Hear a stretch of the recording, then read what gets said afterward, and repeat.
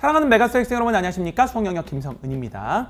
아직까지 EBS 수능 특강 풀어보지 않은 학생 주목이라는 제목으로 메가캐스트 촬영하도록 할게요. 그리고 요 메가캐스트는 쌤 추천 메가캐스트예요.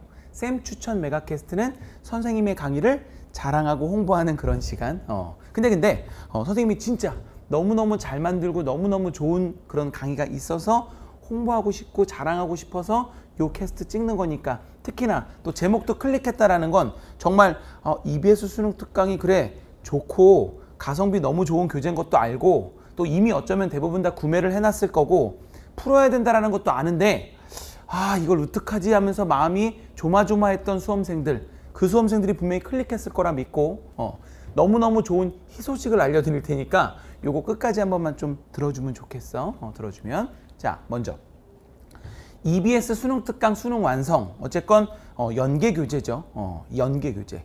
연계율은 50% 물론 이게 뭐 직접 연계냐 간접 연계냐 뭐 따지는 분들도 있는데 다 됐고 어쨌건 평가원에서 어, 수능 연계 교재래 이번 수능. 그러면 11월에 수능을 볼 건데 10월 달이 되면 수능을 출제하는 교수님들이 잡혀 들어가 가지고 막 출제를 하실 건데 그 교수님들한테 EBS 수능 특강 수능 완성 교재가 당연히 주어지겠지. 그리고 이거 어, 연계율 50%뭐 간접 연계가 됐던 뭐 되던 50%할 겁니다 라고 주시겠지. 그러면 당연히 교수님들이 어떻게 할까? 다 풀어 보시겠지. 다 검토해 보시겠지. 아주 꼼꼼하게. 이거에 대해서 여러분 반론할 수 있어? 없지. 어. 그럼 한번 생각해 봐. 이번 우리 수능을 출제할 그 교수님이 꼼꼼하게 어쨌건 한번 볼 그럴 교재야. 그 교재 안 보고 들어갈 거야? 안 보고 들어갈 거야? 미쳤어? 진짜 큰일 날라고? 너무너무 당연한 얘기 아니야? 어, 수능 출제할 우리 교수님이 꼼꼼하게 다 볼 교재래. 그것도 되게 긍정적으로. 긍정적으로. 아, 이걸 어떻게든 연계시키고 이 교재가 어쨌건 평가원에서도 얘기한 연계 교재니까 음, 요건 어떻게든 좀 반영을 좀 해보자라는 뭔가 긍정적인 태도로 볼 교재인데 안 봐? 안 봐? 봐야지. 그치? 어, 봐야지. 봐야 되는 거 알아. 아는데 이제 100여일 남아있는데 이 남아있는 약 100여일 기간 동안 아, 알아, 알아. 나도 봐야 되는 건 알겠어. 선생님, 그 누가 몰라요. 근데 아, 할게 너무 많아요. 아직 뭐 기출도 못 끝냈고 또는 뭐 엔제도 지금 뭐 여기저기서 푸는 것도 있고 모의고사도 보고 저 개념도 보고 뭐 할 게 많다 보니까 그거 좋아서 풀어야 된다는 거 알매도 아, 계속 미루게 돼요. 선생님 어떡하죠? 걱정돼요. 그쵸? 그래서 쌤이 여기 봐. 자, 한 방에 끝내는 EBS 수능 특강 변형이라는 교재야. 음, 이미 강의는 4월 달에 다 완강됐습니다. 다 완강된 어, 강의인데 어? EBS 수능 특강 변형? 이게 무슨 강의냐면 자, 일단 요 위에가 뭐냐면 EBS 수능 특강 문제수야. 수학원 178문제, 수학도 187, 확통, 미적, 기하 이게 문제수야. 자 이걸 쌤이 다 풀어봤어 꼼꼼하게. 우리 연구실에서 다 같이 풀어본 다음에 들어봐. 어, 너무 뻔한 거. 그래 기출에서도 이미 다 볼 수 있는 너무 뻔한 문제들 다 뺐어. 그러니까 무슨 말이냐면 이게 연계가 됐는지 안 됐는지 이건 원래부터 아는 거잖아. 원래 기출에도 있는 거잖아. 이런 거는 그 기출에서 풀어보던 EBS 풀어보던 똑같은 그런 문제 다 뺐어. 그리고 어 이번에 EBS 수능 특강 안에만 있는 독특하고 괜찮은 발상의 문제들이 꽤 있어. 그거를 다 취합해서 어 근데 그 중에서 야 이거는 진짜 구리다. 아 이건 누가 봐도 구리다. 이건 아마 수능 출제할 교수님도 야씨 뭐 이런 걸 냈냐 이 뭐 뭐야 좀 지저분해. 요런 거 요런 거 좀 빼고. 어 봤더니 야 이거 되게 참신하네. 야 되게 잘 만드셨네. 야, 요즘 안 그래도 뭐, 어? 뭐야, 수학원 수학투 같은 경우는 특히나 뭔가 뭐 독특하다는 표현은 그렇지만 어, 여러분들 어쨌건 못 풀게 만들기 위해서 난이도를 올려야 되는 이 시점에 야, 요 아이디어 참 괜찮네. 요거 참 괜찮네. 요런 거.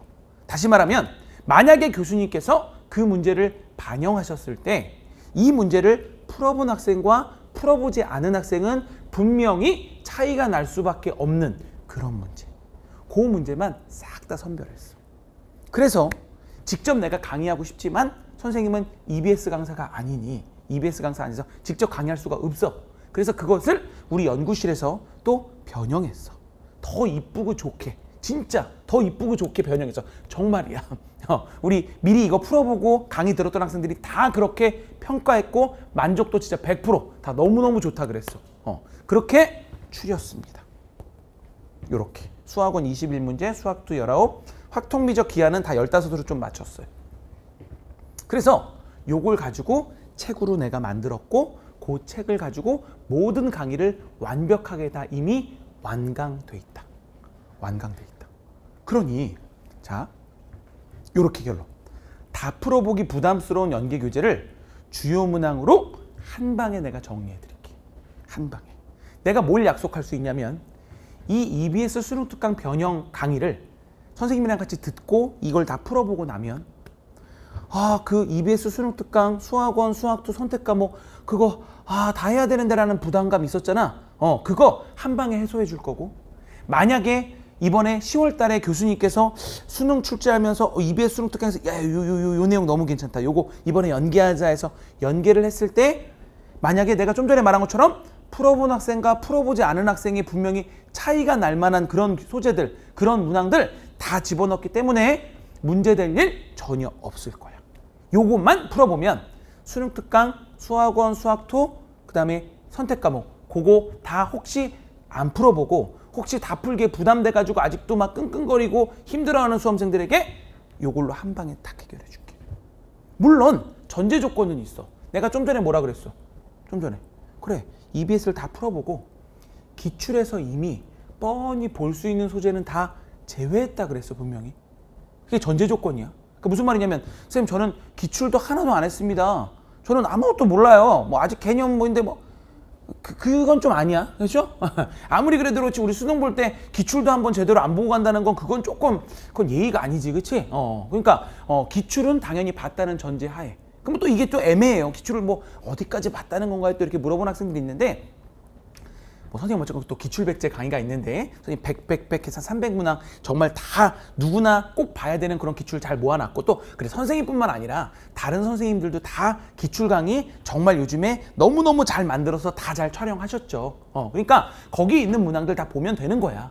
알았어? 어, 그러니까 그게 다 뻔하게 기출에서 우리가 지금까지 평가원에서 또 다뤘던 모든 그 내용들 그거 선생님뿐만 아니라 다른 선생님들도 다 아마 하셨을 거고 그런 강의나 아니면 교재를 다 한두 번씩은 접해서 봤을 거라 믿어. 그러니까 그건 봤다는 전제 하에.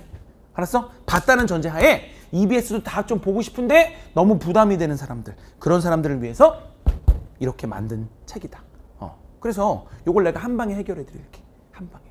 그래서 지금 이제 9월 모의 평가까지 아직 좀 시간이 좀 남아 있는데 그래도 구평 보기 전에 EBS 수특은 한번 끝내야지. 근데 아이고 저 끝내야 되는 건 알겠는데 보면 그냥 한숨만 나왔던 사람들은 어 쌤과 해봅시다. 알았죠? 다시 얘기하지만 이미 이 강의는 4월 달에 완강이 됐었던 강의인데 어 뭐 요즘 들어서 이제 EBS 이제 뭐 여름방학 돼서 그런지 EBS에 대한 부담감들 또 EBS가 요즘 가성비도 좋고 좋은 교재라는 것도 연계 교재라는 거 그래서 EBS를 좀 더 풀어야 된다라는 그 압박감들이 너무 많더라고. 어, 그래서 게시판에 이 질문들이 꽤 올라왔어. 선생님 강의 요런 강의 있는데 정말 요거만 풀어보면 될까요? 어, 아니면 뭐 이게 어떤 강의인가요? 그, 어.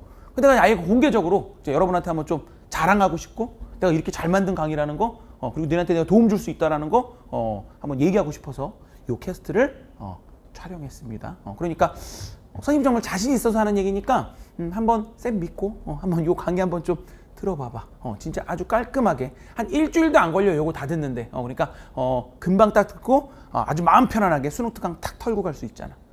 맞아? 어, 그렇게 할 수 있고. 뭐 보여주면 이런 겁니다. 교재 구성은 뭐 지수로그 함수다라고 이렇게 돼 있으면 문제 이렇게 들어가 있는데 EBX 수능 특강의 전문항을 분석 후 선별해서 기출에 출제되지 않은 않은 않은 새로운 소재의 문항들을 이렇게 변형을 했어. 알겠어? 아, 문제 아주 좋을 거야. 풀어보면 야 아주 쌈박하고 참신하고 너무 좋네 이런 느낌 들 겁니다. 어.